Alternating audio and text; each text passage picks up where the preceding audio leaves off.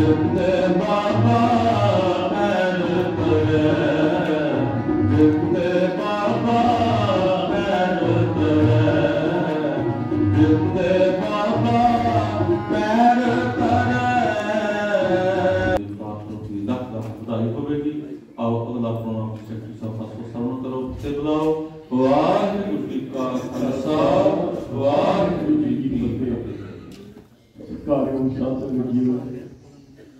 कि आप सबको पता है कि साहब श्री गुरु नानक देव जी का प्रकाश उत्सव मनाया जा रहा है। तो सरदार निर्मल सिंह जी सदरा तो उन्होंने परिवार वालों, अखंड पाठ साहिब तो लंगर के दीवाना की सेवा की जा रही है।